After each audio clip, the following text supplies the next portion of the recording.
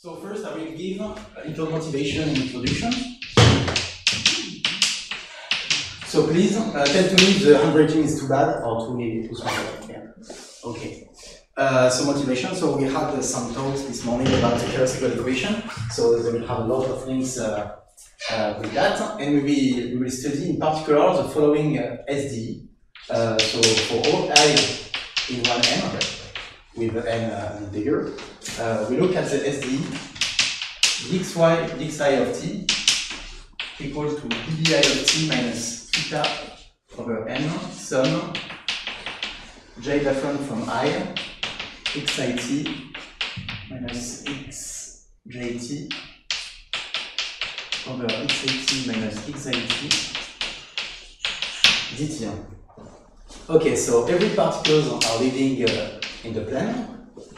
Uh, basically, you have n Brownian motions on the plane, and they are interacting through a Coulombian force. Uh, this is really uh, highly linked with chemotaxis, where you have uh, bacteria that are uh, exploring their environment, uh, that are diffusing, but they are uh, attracting to each other because they emit a chemoattractant. So here you have the diffusion phenomenon, you have Brownian motion that is visiting the whole space. And you have uh, all particles that are interacting in the sense that every particle is uh, uh, attracted by the other particles. And you have an intensity, theta. Uh, this is just a real parameter, which is uh, strictly positive, and that say that uh, the interaction is strong or not that strong. okay, so when you have this equation, uh, so the other thing I wanted to say is that this SDE is really linked with the uh, Keller-Segel PD that we saw this morning. Uh, but I don't want to go into details to explain why it's linked. Uh, and what is interesting with this equation, uh, there are two stuff that are interesting. The first time is that there you have a competition between two phenomena. The first one is uh, diffusion, the other one is concentration. And you want to know who wins. Um, will you have a direct mass because the concentration is too strong, or will you have a diffusion and all your particles are just going away? Um, another stuff that makes the equation very interesting is that here you have a singular uh, a term in the equation, so this is not well posed. Um, so you have to ask you the question if it's well posed or not. Uh, so I will have like two questions. The first one uh, that will be not really interesting, but I will just I put there because it's important.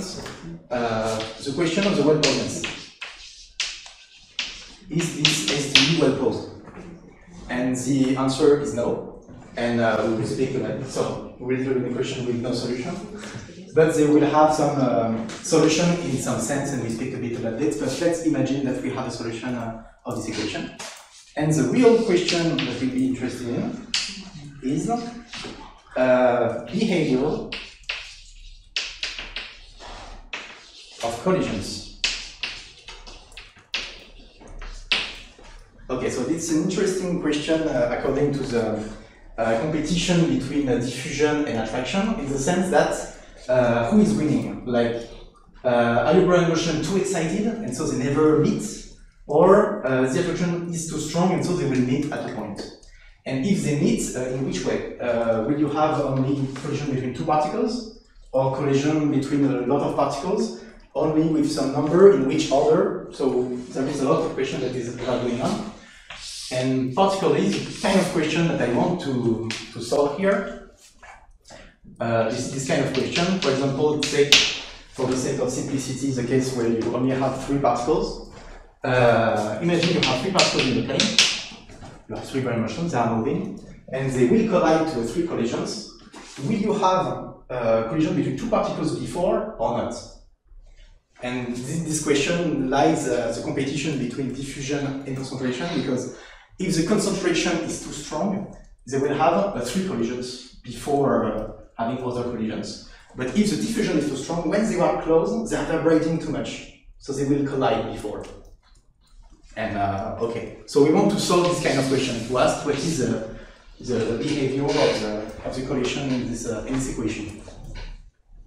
Okay, that's all I wanted to say about motivations. Uh, sorry, one question. Yeah. Uh, do particles can overlap? Overlap? Yes, in your, you in your model. Oh yeah, yeah, yeah, Ah. definitely. Yeah, just that's position So yeah, and that's what I call uh, collision Okay. when they're the same time. So you see that there is a point here because here it's one over uh, the distance of the particles. Mhm. So it's not clear it's well defined. And you will visit this place because it's attractive. So there is a problem. Thank you for the question. Okay, so before going in the, the, the core of the subject, we will speak about a tool that I will use a lot uh, in this uh, in this talk. It's squared Bessel processes. Okay. So for some minutes, we'll just forget this equation and just focus on another kind of process. Uh, what I call a squared Bessel process is uh, a process that which is non-negative, such that uh, it satisfies an SDE, which is the following. dzt equals to 2 square root of zt divided by t plus delta t, where delta is just a real parameter, and uh, that is just a Brownian motion of dimension 1, of course. so what is this uh, this strange uh, process. In fact, it's kind of an easy one because if you take uh, uh, delta, which is an integer, uh, if you apply the Ito formula, you find that it is only uh, the square norm of a Brownian motion where b is a n-dimensional Brownian motion. So if you apply the Ito formula, you take a Brownian motion dimension n, uh, you take the square norm, you find that. Okay. And uh, you say, okay, this equation is well posed even if you have not an integer here, so you say, I just put a delta here. That's an equation, and that's, uh, if you can define a, um, a motion with dimension delta, this can be his uh, square norm. So it's a generalization of the square norm for Brownian motion. Okay, and if you have this, uh, this intuition, you have the following property. Okay. Um, okay, we have three cases. The first one, the handwriting is great, or okay, perfect. Uh, if delta is larger than two, so you have a Brownian motion but in dimension larger than two, so you never reach zero. So this process never vanishes. Uh, zt is strictly to zero uh, for all t uh, positive, almost sure. Okay? So if you imagine uh, with the intuition I said that kind of clear intuitively. Uh, if delta is strictly between 0 and 1, uh, for all t strictly positive, there exists a t larger than t so that zt is equal to 0 almost surely. Uh, so it means that are in the case, you, you feel that in the dimension 2, you never touch the 0, but you are really close to that, so it's a critical uh, uh, dimension. Uh, so if you are a bit, oh, that's not 0, 1, uh, 0, 2, sorry. If you are a bit under uh, 2, you will touch 0 uh, uh, a bit like like in 0, 2 you have 1. In a motion dimension 1 is touching 0 infinitely many. Okay. Um,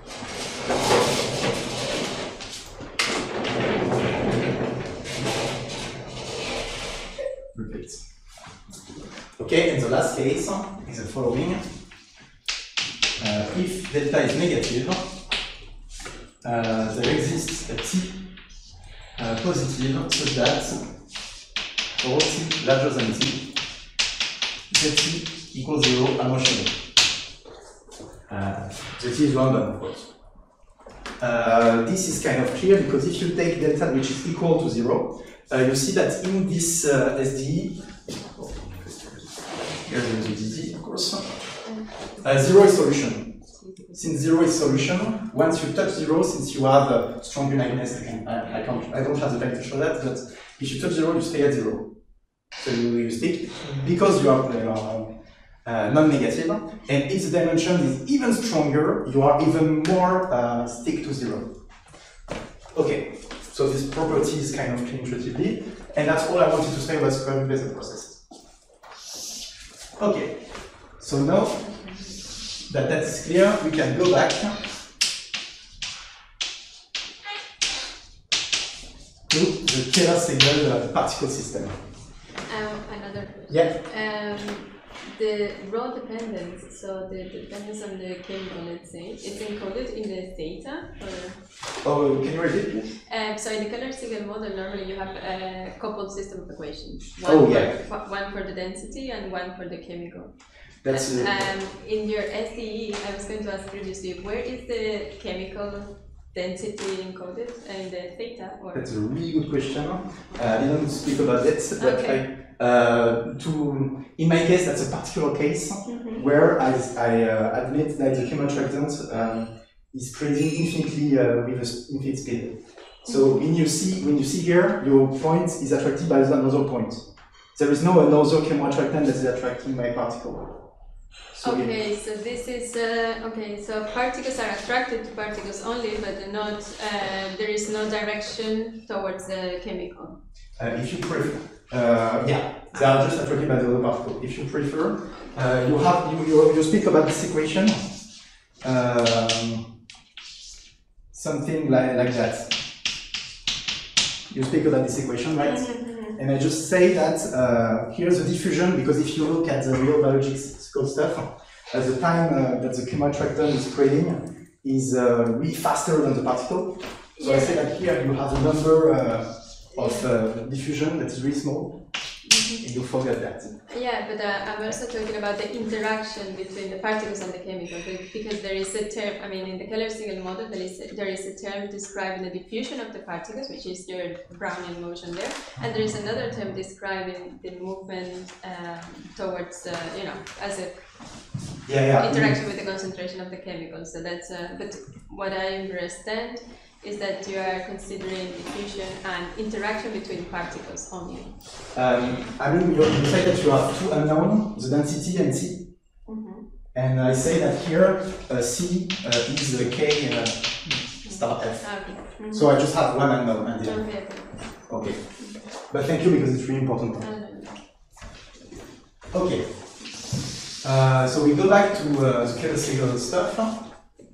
Uh, so I will just uh, put some notations uh, for all x in R2 power n, uh, which I will describe as follow: x1, x2, etc., xn. You have to see that as configurations. You have like n points uh, in the plan. They can overlap and, uh, and stuff.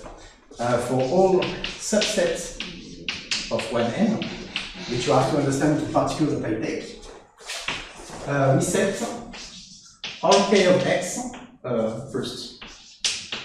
Sk of x, which is equal to 100 kernel, like the empirical mean, and Rk of x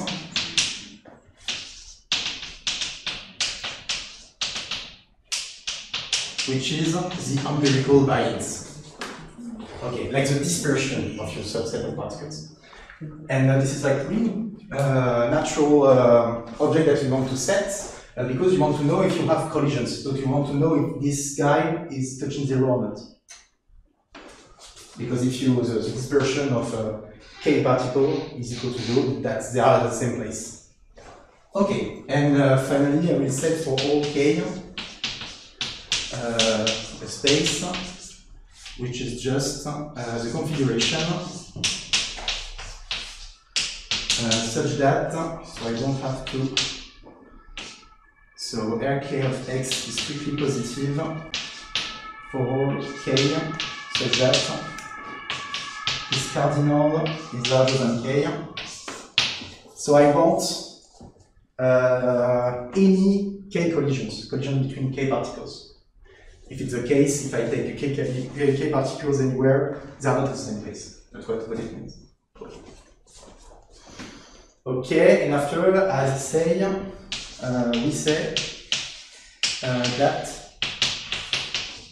there is a k collision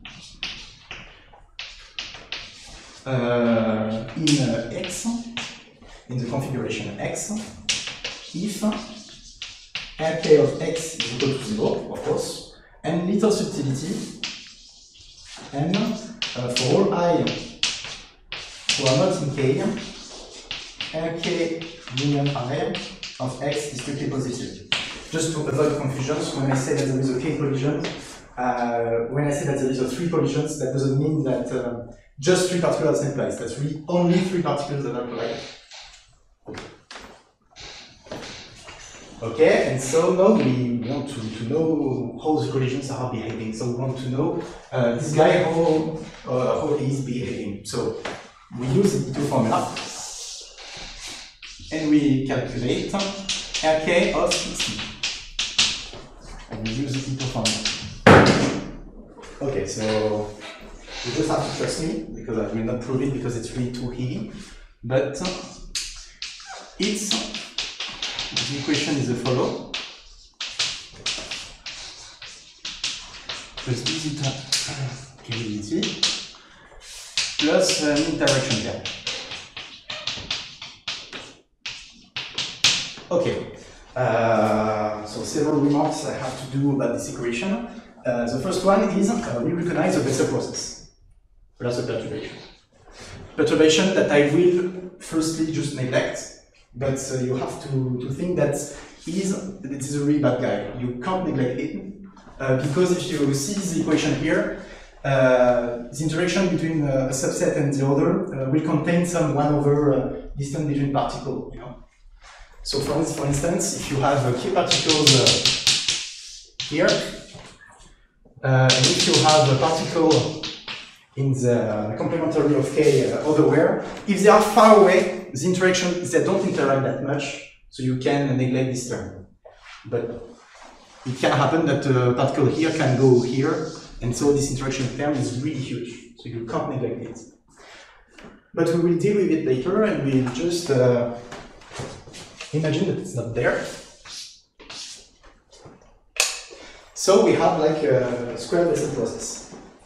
Uh, another little comment, I said uh, before that we don't have the existence of our process.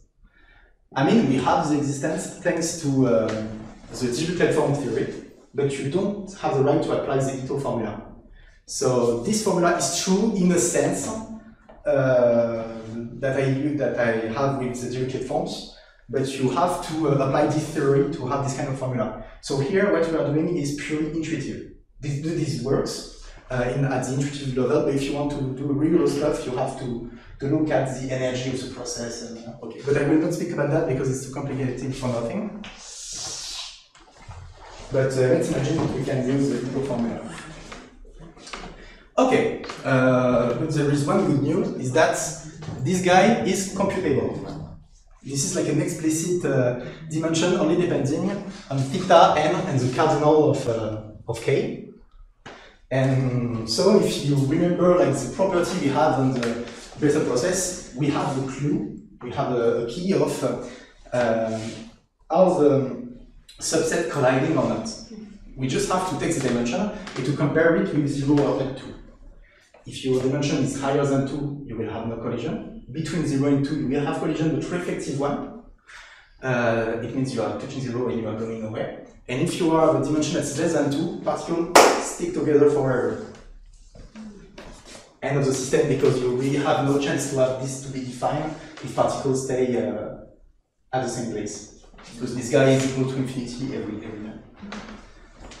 Okay, so I just have to compute uh, the dimension of the Bessel, and I will see uh, which kind of uh, collision we have.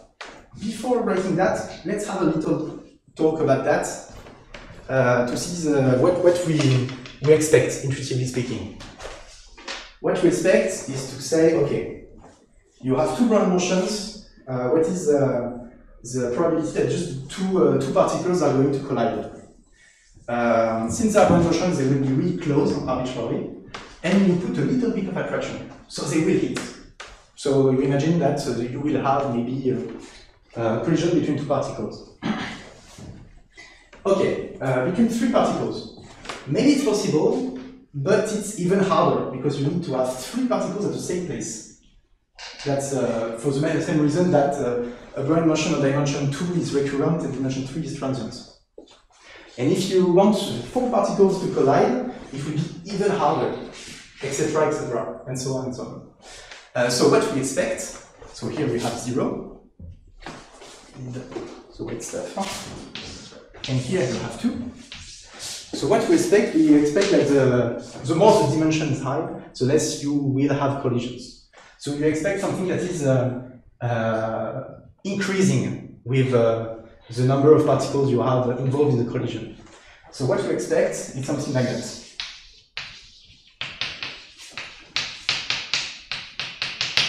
Yeah, you see, it's logical. Like the more you have particles involved in collisions, the more it's difficult to have collisions. The difficulty is linked with the, high, the fact that with a high dimension, Brownian doesn't appear. What we have for real is not that at all. So for real, what's happening for real is the following. The dimension is a polynomial expression of the cardinal of k. So what does it mean? It means that uh, you will have a collision between two particles, and you will have no collision between three particles. No with four, no with five, etc., etc. But at a point, you will have T9 particles that will be together and collide. And after, you will have like a 50th particle that will come, and it will co collide with the other. And after, you will have a last particle that will come, and uh, because here, if you see well, um, I will put some name. Here you see the first time you are going under 2, and I call the, the name of the cardinal K2. Here K1, and here K0. First, you will have a K2 collision between K2 particles, like 49 particles, uh, because the dimension is between 0 and 2. After, you will have collision between 50 particles, because the dimension is again between 0 and 2. And at the end, we have 51 particles that are going together, and that will collide, and will stick together forever. at the end of the, of the story. So it's kind of counterintuitive, you know? Yeah. Can you repeat how are K naught, K1, K2 defined in terms of this curve? Ah, how they are defined? Yeah. Okay. Um, Oh, is it, sorry, I just want to know if, if the intersection of this curve with zero has anything to do with those quantities. yeah, yeah, yeah, yeah. Yeah? I mean, K2 is the first time you are under 2. Aha. It's just that. Okay. K1 uh, is the number after, K0 is the first time you are negative. Restricted that they are on the integers. Yeah, exactly. Exactly. That's the first integer such that uh, you have interesting stuff that are happening. Mm-hmm. Okay, thank you. Welcome. Okay, so.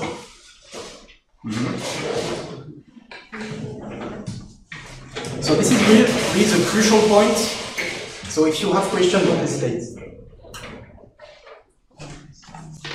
Just erase. them.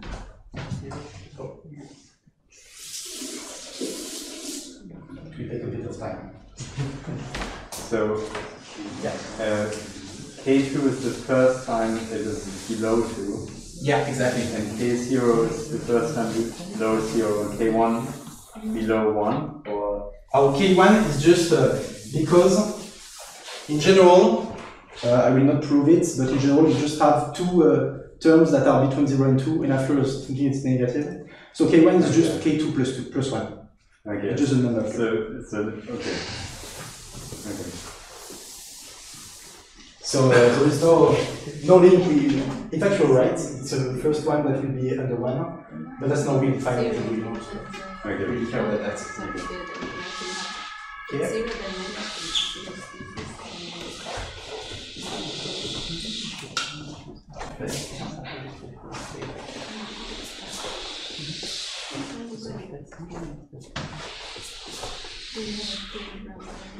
Okay, I will just um, uh, set a proper. Uh, uh, sorry, we have yeah. another question. yeah, yeah, yeah. Go ahead. Um, in in this part, uh, so in the plot that you did before, Yeah, um, when you have a zero, yeah. that means that you have a purely Brownian motion. Uh, uh, what? Purely? Um, yes, uh, because if I go back to the SDE on yeah. top, um, if the D is equal to zero, right, Yeah. is, uh, then I only have the Brownian motion. So that's what happens um, at this point, right? Yeah, yeah. Okay, okay. Yeah, exactly. Sorry, yeah. And I mean this. Uh, yeah, this is just Martingale. in since you have zero as a solution of that, Mhm. if you touch zero, you stay at zero. Okay. So that's why I'm interested in because it's the first time you have a sticky collision. Okay. And you know, at that point, all particles stay together. Exactly until the end. I, I mean, that's just interesting because there is no proof of that, but that's what we think about that. And this block of particles, they move as a Brownian motion, or how? They will, Ah, exactly. okay, okay. They, they they have a mass that will be the sum of the mass of the particle. I mean, that's stuff I, I'm working on. Okay. No, no, if I get it. Thank you. Perfect. Okay. Uh, okay, so I just announced the theorem of uh, my supervisor and myself. Okay, uh, so let theta, which is larger than 2, this is a, the important hypothesis, and we have n superior to 3 theta, this is not really important hypothesis, but I have to say that. Uh, for all x in E2, if you remember well, E2 was uh, the set of configuration when you have no overlap, particularly to the same place. Uh, we have uh, Tx almost surely the following. Like I mean the, um, the system starting at x with these uh, initial conditions. So particular are not colliding at this point. So, so I will write uh, six points. Uh, the first one is if you set zeta, it is equal to the lifetime of the process, uh, such that uh, xt is not in e k0 anymore. So uh, the first time you have a k0 particular the same place, which is logical because it's the first time you will have a sticky collision. So we don't expect the process to be uh, to live uh, after that. It's uh, finite almost surely, and x zeta minus, which is defined as the limit when t goes to zeta of xt, exists. So you have continuity of the trajectory at the explosion, which means that you have a real uh, uh, sticky collision, that they are really uh, stick at this moment. Okay. Second point, there exists k0 in 1n such that the cardinal of k0 is equal to k0. Uh, so really have to set here that k0 is equal to an explicit step, the integral part of 2n over theta, and uh, k1 is equal to k0 minus 1, and k2 is equal to k1 minus 1. So just you have this one that's defined as there is what we were before. So there exists a subset uh, such that uh, his cardinal is equal to, to k0, and uh, there is a cardinal collision in zeta minus. So I just say what I told to you is that at the explosion, there is an explosion because uh, there is a particle in K0 that are together and it's uh, exactly the critical number. Okay, three is the following. Um, for all k in K0, such that this cardinal is equal to K1, so just one less than uh, K0. Um, for all t strictly less than zeta, uh, there, there is uh, a K collision uh, during uh, t zeta. So you, will have your collision, and before your, your explosion, like k0 that are at the same place, uh, you will have uh, infinitely many of collision of one particle less. So to say that if you have uh, 10 particles, uh, if k0 is, uh, is equal to 10, you have collision between 10 particles, you will have uh, just before that infinite k1 uh, collision. And of every subset uh, of size k1, every subset of k0. So if you have three particles that are colliding, you have infinitely collision between these two, these two, and these two. Okay, and after it's kind of the same uh, as that for L in K in K0, such that the cardinal of L is equal to K2 and the cardinal of K is equal to K1. Uh, for all T instants of K collision, and for all S less than T, uh, there is uh, L collision uh, on ST, the same. Before every K collision, you will have infinitely many of L collision, like one particle less. Okay? Uh, five. For all, um, okay, for all K prime uh, included in one N, such that this cardinal uh, is in uh, 3 uh, K2 minus 1. So it means uh, forbidden collisions because the dimension is higher than 2. Uh, there is a K-twin collision on uh, 0 zeta. And finally the last one. But everything is uh, on the, you have all the, intu the intuition here. Point 6. For all ij in L in K0, such that uh, the cardinal of L is equal to K2. For all t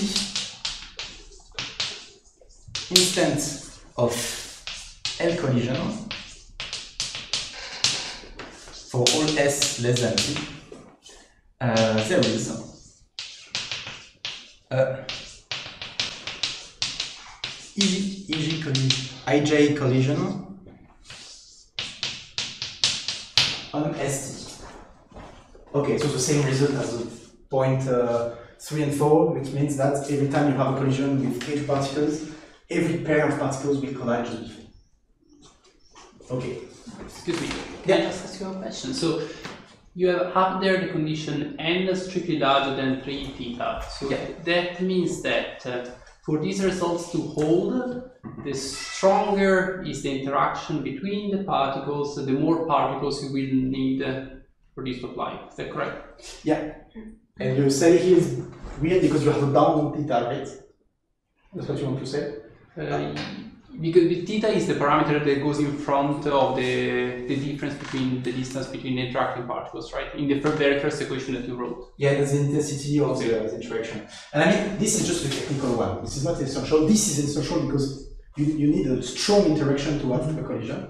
And when, why we want that? Because uh, if you want to have uh, two, then three, you know this scenario, you need to have a large n just to see the phenomenon. So you just need to have enough place to define OK2, define a K1, define a K0. Ah, okay, so It's just that. okay, okay, it makes That's sense. not a Okay. comparable. Okay, Perfect. thanks. But thank you for the question. Um, yeah, I'm sorry. The real uh, interesting stuff is this guy. Okay.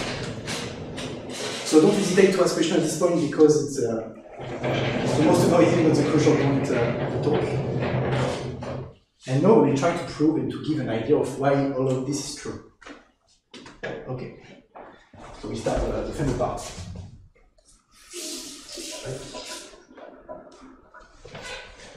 just to let you think about it.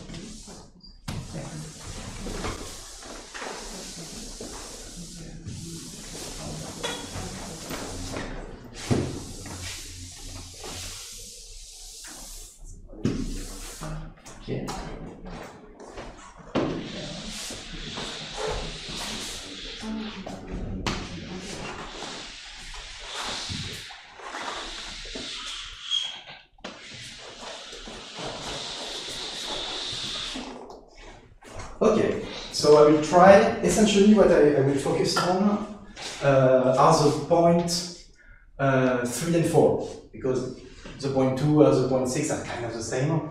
Uh, and I will just uh, briefly explain why the point 1 uh, is important, is true. So we give uh, a proof that like, not rigorously, Uh, begin by the case one.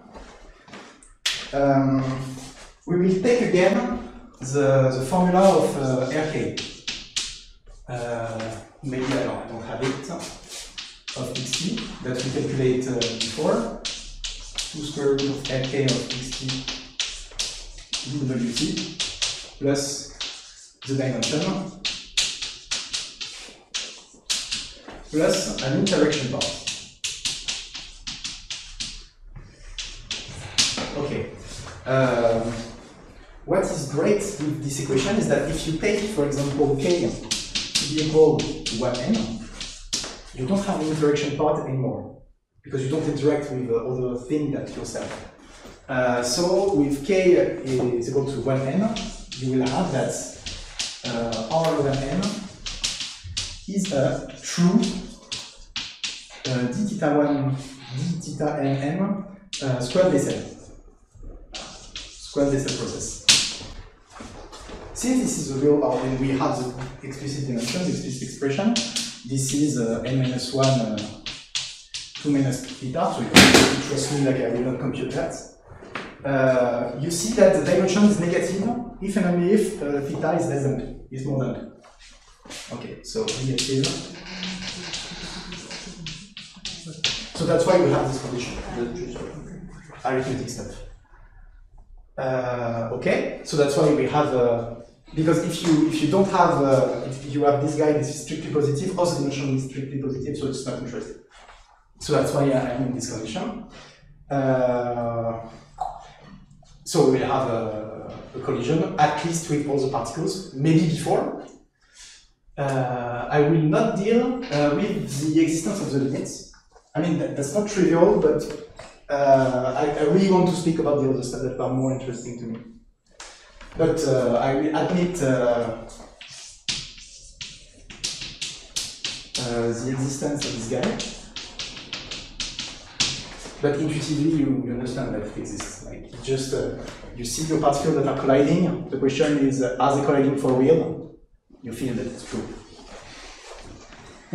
I mean, it makes sense physically speaking. I mean. Uh, no, I will be more interested uh, in the following.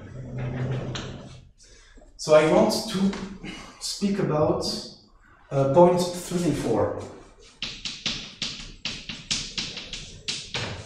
which are the more intriguing. Okay, uh, so the question is the following. Uh, I will reduce myself in a special case. Uh, we restrict ourselves to um, a special case.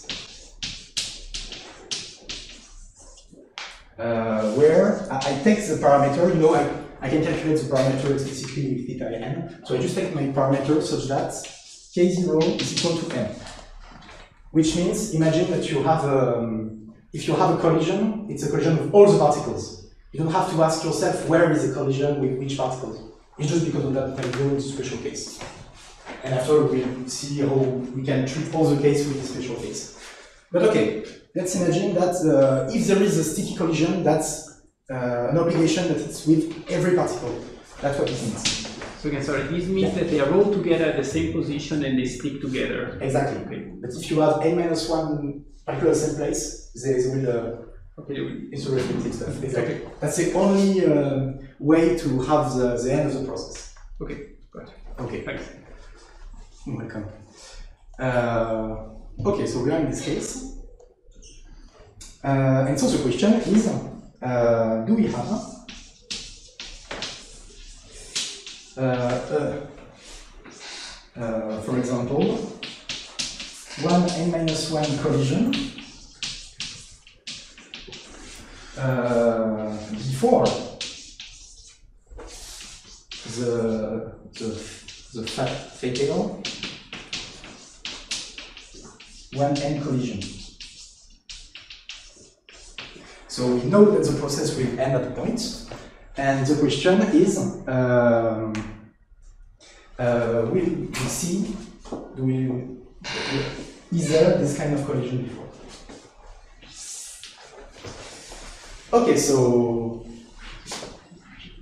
if you remember what we saw with the equation of uh, RK that is here, uh, this is difficult. If you, you want to apply this equation with k equal to 1 n minus 1, because you want to know if there is a collision between these particles.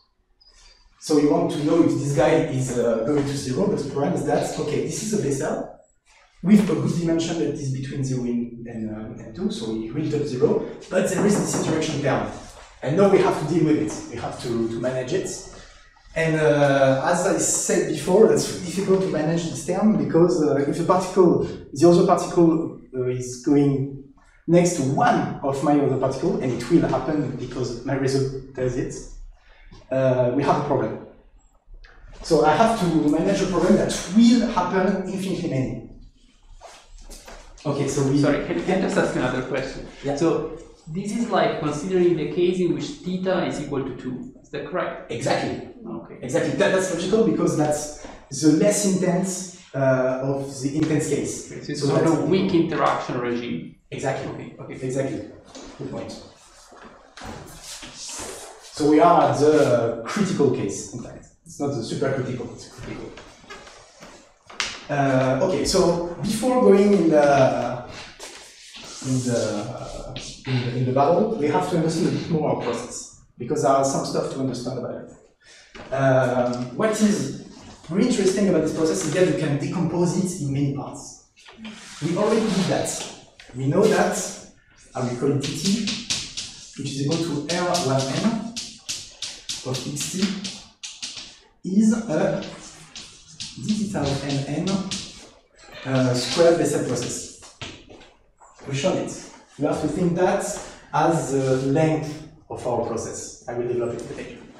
We have another stuff that I that we know, which is not impressive, but like we know it's like the mean of the particle, which is S1n of xt, the empirical uh, mean uh, of my processes. Uh, of course, uh, this guy, this is a Brownian motion with an additive part, with um, with a diffusion, with a coefficient like one over root of n. Uh, this is clear because if you remember the, if you sum all the particles, you have one particle that's attracted by the, by the other, and the other is attracted by the other, but the forces are compensating. So at the end, we just have the sum of the Brownian motion. So it's just a Brownian motion. Uh, another physical way of looking at it is you when you do the, the barycentrum of your system, it's as if you were isolating your system and doing um, uh, and looking at the force that are applying to the system. But your system is not isolated, there is no force, so it's just a Brownian motion because the forces are internal in your system. Okay. This is not a proof, but this is a good uh, physical hint of what happened. Uh, okay, so and another stuff that is interesting is that n is independent. I mean, if you do a calculation, that's kind of clear because here it's like uh, you know the sum of Brownian motion, and that's only dependent on bi minus bj. So if you do like your bracket stuff, one minus one is equal to zero. So this is mathematical stuff you just write, that's not too difficult to see. A physical way of looking at the stuff, uh, the way you collide doesn't depend of where you are. I mean, if you just translate, your, your problem is invariant as translation. So if you translate to other place, it doesn't affect the collision at all. So it's not shocking that it's independent, if you want to redo a proof, this guy is exactly equal to that, with 1 over n, of course.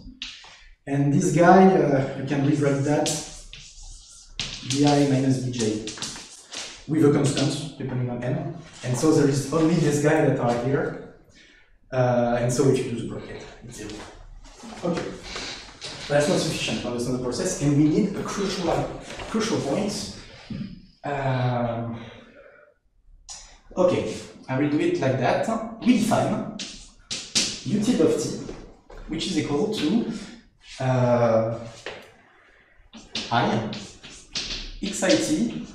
minus mc over the square root of dt.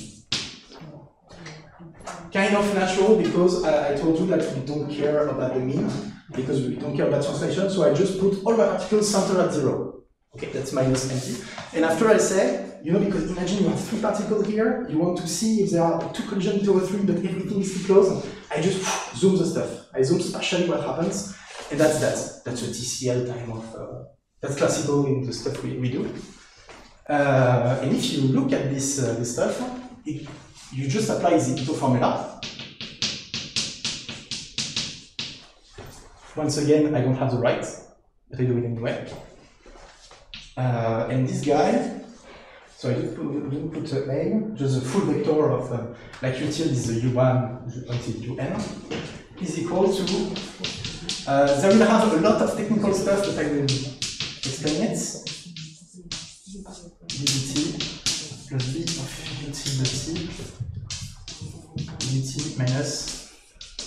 2 minus 3 dt. I will put that here. Okay, so it, it's, uh, it sounds complicated, but uh, no worries, will, I will explain. Uh, so many stuff to explain. The first one is, uh, so BT is the Brownian motion of uh, before. Uh, B is defined as you have xt, which is equal to BT plus B of xt dt. B is just the drift of uh, the classical system. You know it's i minus xj over the square. I just give a different name because I want it as a vector. So it's just a Keller part uh, here. So this is, uh, kind of clear. Over two. Yes. Good. So take another one. Uh, here we have just the root of dt. Here we have dt. Here we have dt. Uh, age, age is uh, the set of configuration such that the mean is equal to zero. And that's all. So, okay, it's kind of frightening equation, so we'll spend a little bit of time to explain. Um, here, uh, we have the Keller-Segel. Uh, before, before doing that, just look at these guys. This is not an autonomous equation, but kind of. There is just this. If you erase these guys, uh, you, will, have an equation that only depends on you. So it's kind of uh, independent stuff, so we can think it's, uh, it's something you can uh, study by itself. But that's really great that we have this kind of stuff because it suggests to do a change of time. You see what I mean? Uh, so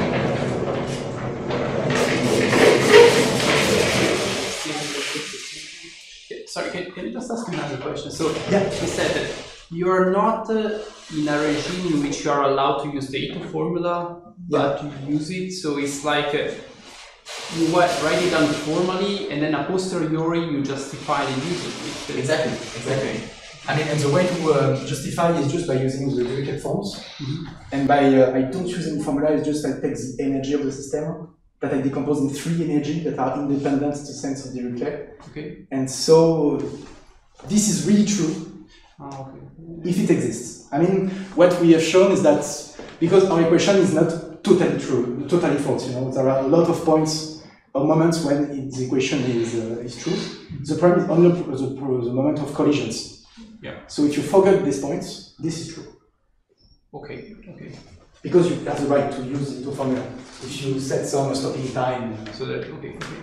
Thanks. okay. Another time to, to digest the stuff. Huh? Okay.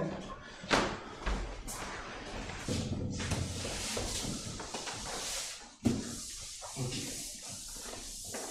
So when I see the process I just wrote uh, here, I want to introduce a new process uh, where I change the time to make disappear the entity and to, to have uh, and to have an equation that is uh, only dependent, that is uh, self-contained.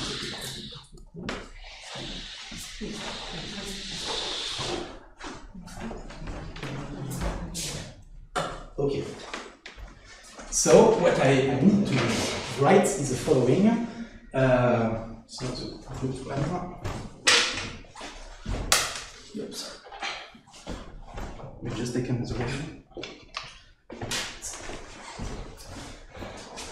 I will set A of t which will be my change of time.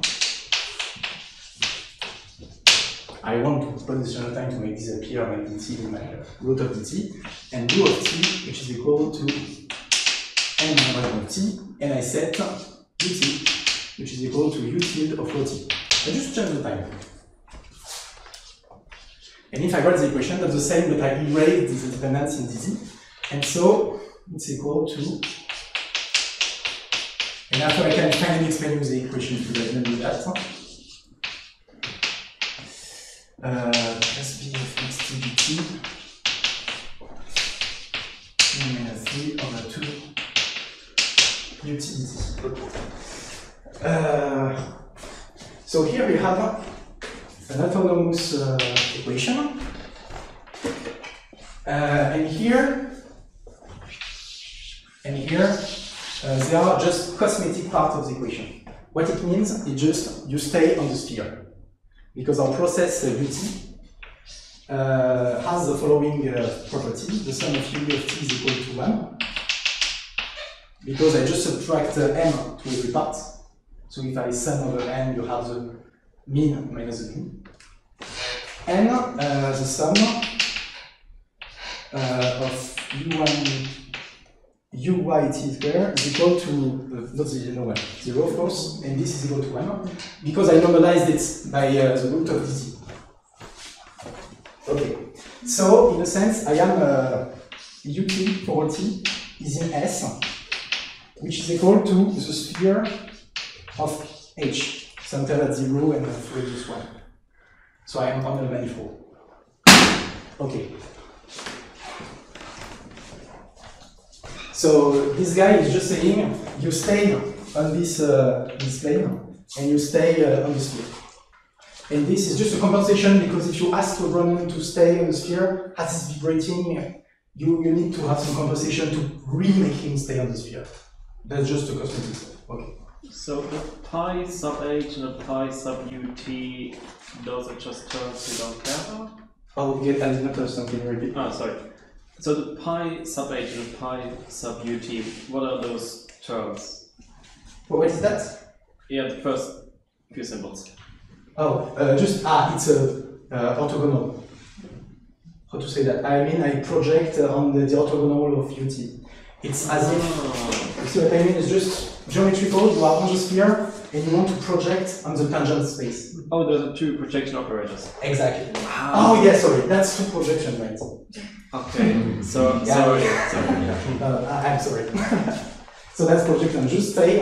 Uh, you stay. So you just take the tangent part. So you're on the sphere, and you uh, you want to to stay in this space. Okay, h we have already defined, and u orthogonal, is the tangent. Okay. Okay, and here you have, uh, here is the dimension of the transformation. So you have two times n, which is the dimension of the system, and you, you suppress three degree of dimension. Two here, because you have two dimension, and one here. So I suppress three degree of dimension, so that's why I have this term. Okay, and so I want to focus a bit on the, and there is something that's really great about this change of time. Uh, everything is okay with the equation? I was still a bit. Okay, perfect. Something that is a bit crazy is that A of zeta is equal to infinity homogeneity. Because that's a Bessel, that's a point where he vanishes, and you have to show it, but it's not that, that hard, you can do it really easily. Uh, he's going to zero a bit too slowly in such a way that uh, the integral is diverging. So A of zeta is related to A of t there? Yeah, I mean, I Ah. apply IT equal, Okay. yeah. So what does it mean? It means that uh, this change of time send my zeta to the infinity. So it means that ut is defined on R plus. So I just, at the first time, you know, zoom spatially the space, and what happens is that it makes me zoom the time. So more I, I, I approach the collision, the more my particles are freezing in a really natural way. And so what's really incredible in that is that uh, before I was asking do I have uh, this kind of uh, identity? Do I have uh, n minus particle colliding before my n are colliding? This guy is uh, zeta. I didn't that. Just uh, do I have uh, n minus one collision between, before the n collision? And no, it began for you. Do I have an n minus one collision infinite time? And that's a far more. Um, that's a far more natural question to ask because here this topic time are really correlated. It's a huge mess. Here you have a process that is independent of the rest. You just ask if uh, he has uh, some n minus one collisions. Okay, so let's focus on the angle of the process because it's a like uh, m is a mean, d is a radius, and use the angle in a, in a sense. Okay, so I just focus on you, and uh, so what I want to see is to see once again this guy. Not this guy, because this guy is equal, always equal to one. Is this guy. And I want to know if this processes uh, vanishes at a point. Um, and if I do some calculations, uh, I find something like that. Uh, so something that's very similar of the, the past stuff we had. So just here you have uh, an additional uh, term Brownian motion. Uh, you have the dimension. And 1 dt. You have, of course, the interaction term.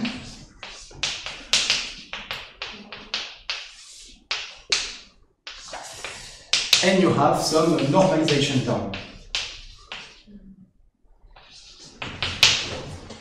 Okay. Um, it's not surprising to have kind of the same stuff as before because here, if you look at the equation, this is angle on the sphere.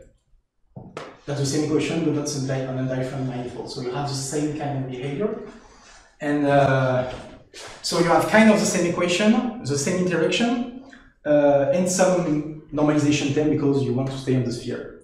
But this guy is uh, really negligible.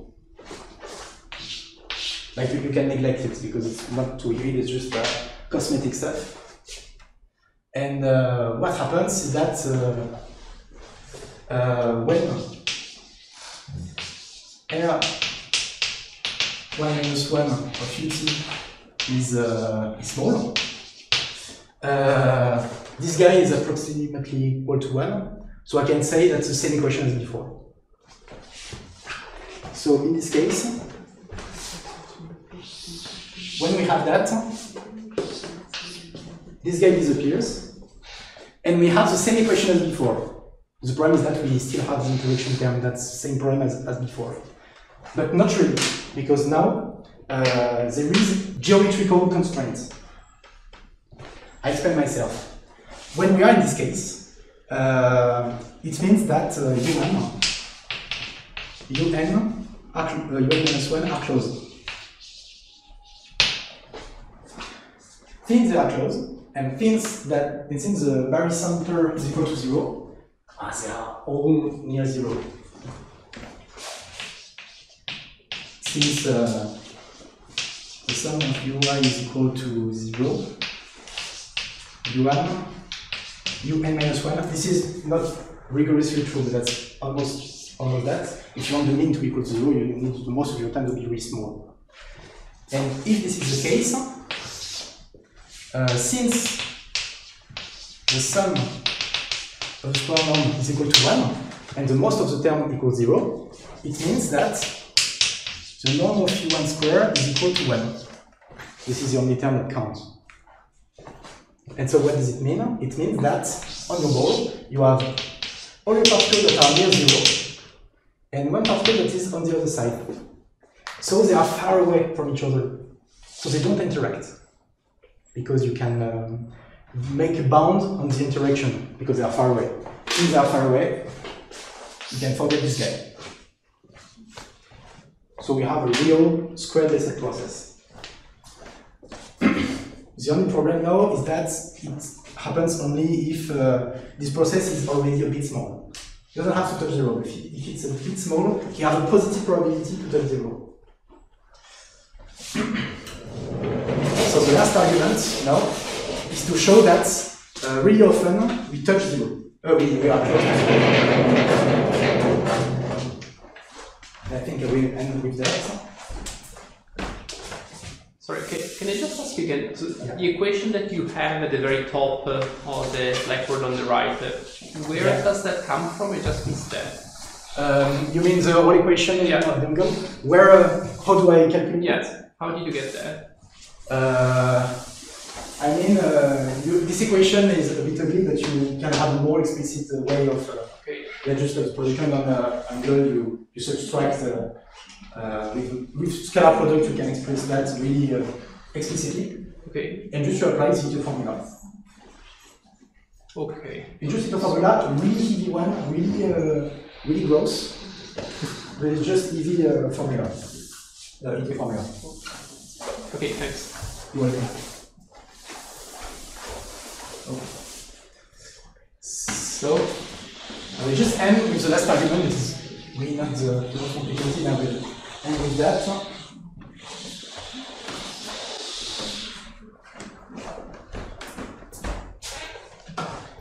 Okay.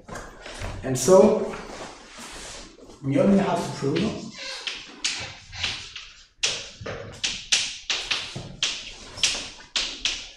uh, that R1 n minus 1 of ut is often small. Because if it's the case, every time you have a positive probability of collision, and so by uh, Borel-Cantelli argument, you will do that infinitely many. But that's clear because ut, uh, since it has an equation, it's a Markov process. Ut is a Markov process on S1, which is compact.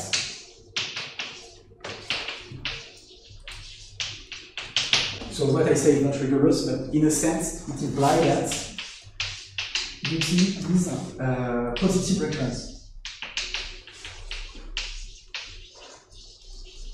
You have to work a bit to show that for real, but in a sense, ut is positive recurrence, so he will uh, visit infinitely many, a little open set uh, close to zero, and every time you have positive probability of collision, so you will do it infinitely many. Uh, because you will visit that uh, really often. Okay, so I will conclude uh, fastly, because I'm out of time. Uh, just to situate you in the proof, what we prove is a special case. We prove the, the case where uh, uh, if you have a collision, uh, it's a collision with all the particles, in this case. And you have to prove that it's true even if uh, k0 is not equal to n. And uh, for, ha- for that, you have a, a bit of additional work. And I will uh, enjoy to speak uh, about it during the, the coffee break. Thank you very much.